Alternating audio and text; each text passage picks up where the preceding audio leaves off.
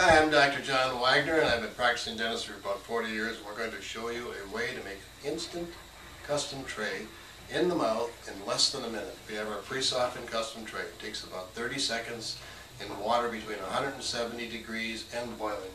We use a disposable fluoride tray as a spacer, which nicely creates the two millimeters of space we want around the material between the tooth and material. Then we slip both pieces into the patient's mouth, mold it around, squeeze it up tight, slide the two pieces out, and put it under cold running tap water for about 30 seconds. Remove your fluoride tray, dry it off, put your adhesive in, and you have an instant custom tray called SimpleTray. Thank you.